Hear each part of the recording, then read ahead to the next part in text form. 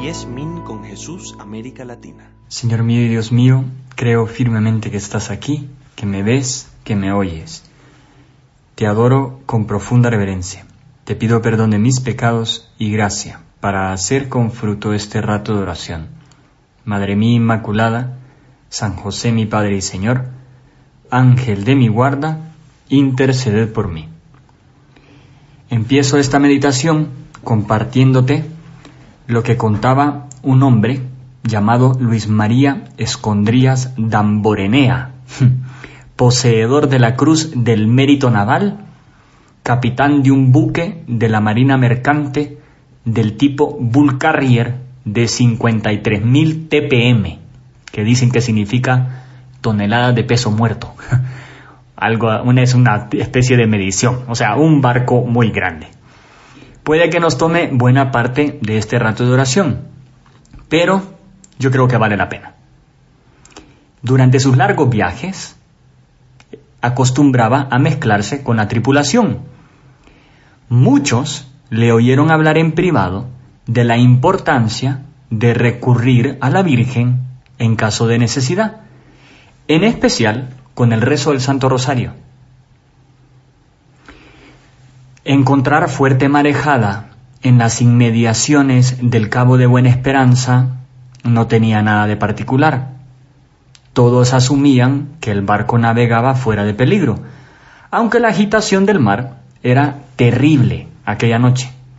Provocaba repentinos vaivenes que convertían los trabajos habituales de cubierta en arriesgadas incursiones, por lo que se redujeron al mínimo.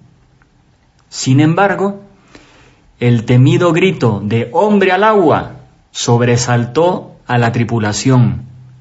Un oficial experto en su trabajo fue casi catapultado por encima de la amura de babor.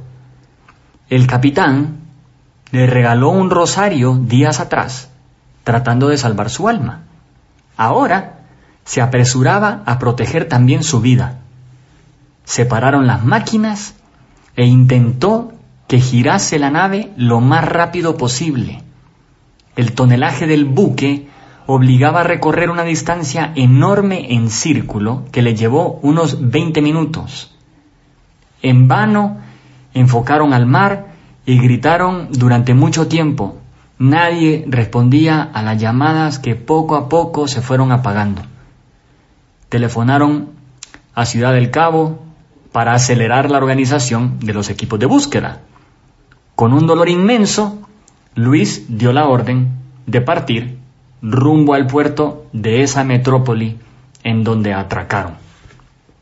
Una vez en el hotel, le transmitieron por el móvil una sorprendente noticia. Julián se recuperaba en el hospital de una fuerte hipotermia que no hacía temer por su vida. De camino a la clínica, hizo sus cálculos no era posible llegar a nado, y menos en dos horas y media. Tampoco se sostenía un rápido y fortuito rescate.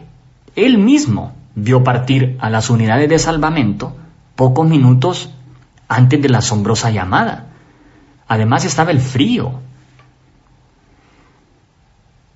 Advirtiendo el entrecortado saludo de Luis y su semblante confuso, Julián guardó un interminable silencio. Su mirada, lúcida en extremo, parecía transparentar una firme decisión de mantener la más estricta reserva sobre lo ocurrido. Pero se trataba de Luis. Comenzó el relato en voz baja, sereno, rastreando el menor gesto de incredulidad.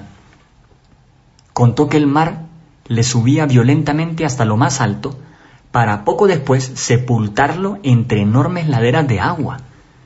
Cuando vio que el buque regresaba, no dejó de gritar. Fue inútil. Los focos en ningún momento se aproximaban a su posición bastante alejada. Al comprobar que se marchaban, procuró vencer el pánico. Todo quedó sumido en una profunda oscuridad. En ese instante, recordó nunca antes se había percatado que la Virgen es protectora de los afligidos.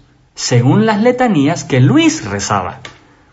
Así que recurrió a ella una y otra vez, y en la única forma que improvisaba su intuición. Ruega por nosotros pecadores. De repente, algo tocó su pie, su pie derecho.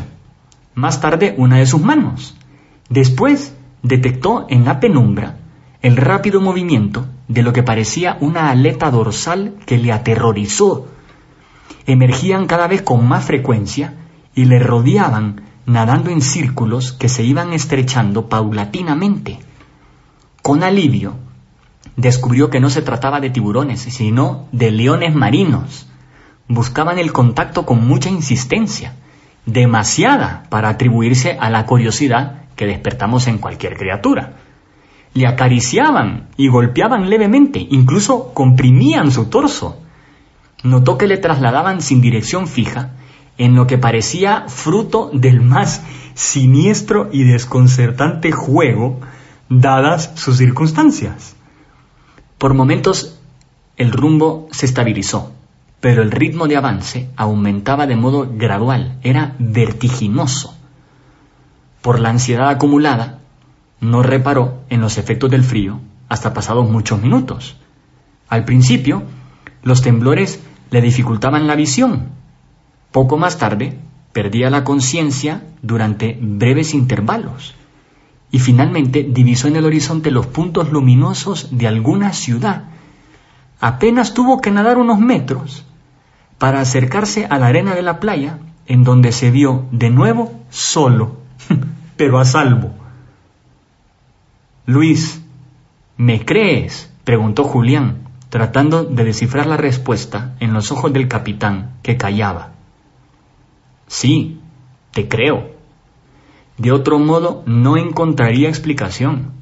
Me parece imposible que estés aquí, más aún en tan pocos minutos. Aparte de que una caída sin equilibrio desde tanta altura debería haberte dejado inconsciente. Deberías de dar gracias a Dios y a su madre. Yo también lo haré. Impresionante, ¿no? Pues ahí tenemos el rosario de nuestra madre. Pero vamos al Evangelio de hoy, del día de hoy, no el de la fiesta que celebramos, el del día de hoy.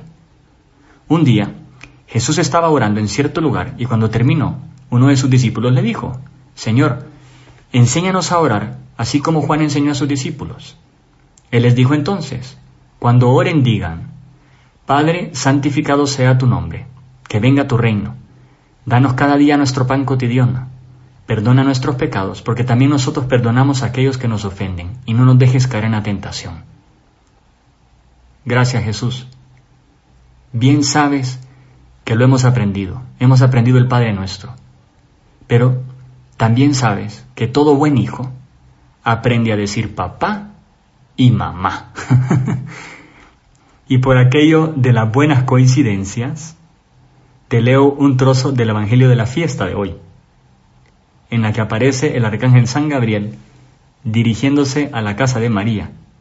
Entró donde ella estaba y le dijo, Dios te salve, llena de gracia, el Señor es contigo. Buena coincidencia, ¿no? Aprendimos el Padre nuestro de tus labios, Jesús, y así le añadimos el Ave María. Y fuimos formando grupitos de Ave Marías en torno a los Padres nuestros, grupos de diez, y para no perder las cuentas, nos inventamos una especie de cordel con nudos. A los fabricantes les llamaban los paternostreros, porque el Padre Nuestro se dice paternoster en latín, y qué gusto les daba rezarlos, y qué gusto nos da rezarlos. Cada grupo de diez era una corona, una corona de rosas, que le decían así porque era el regalo que se daban los enamorados, Rosenkranz en alemán, de donde viene el nombre de Rosario. Regalo de enamorados. ¿Quién no se enamora de tu Madre Jesús? De la Virgen del Rosario, a la que celebramos hoy, que es, por cierto, reina, madre y patrona de Guatemala y alcaldesa perpetua de la ciudad capital de Guatemala.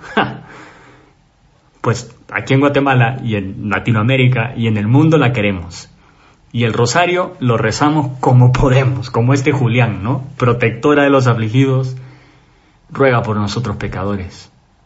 Y yo te lo digo a ti que escuchas, anímate a rezarlo este mes, hoy mismo. Ella te escucha y Jesús sonríe. Te doy gracias, Dios mío, por los buenos propósitos, afectos e inspiraciones que me has comunicado en esta meditación. Te pido ayuda para ponerlos por obra. Madre mía Inmaculada, San José mi Padre y Señor, Ángel de mi guarda, interceded por mí.